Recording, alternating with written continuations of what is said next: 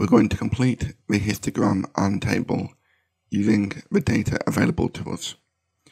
We know between 7 to 9 it's got a frequency of 20, so the area of each cell must be 2, because the base of 2 and the height of 10 gives a frequency of 20. And we can check this 14, 16, 18 and 20.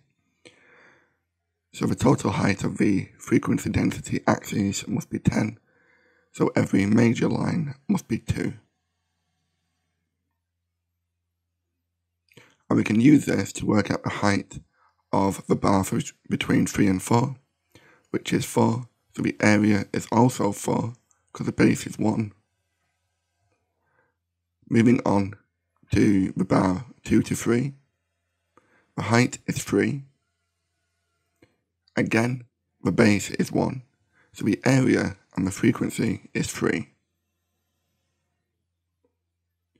Between 4 to 7, we know the base is 3 times the height or frequency density to make the frequency 14.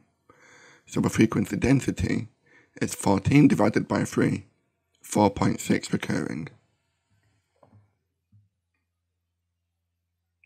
So we'll quickly draw this bar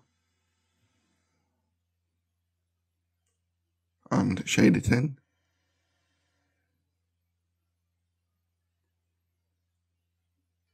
And the last one, the bar between 9 to 10 has got a frequency of 9 and a base of 1.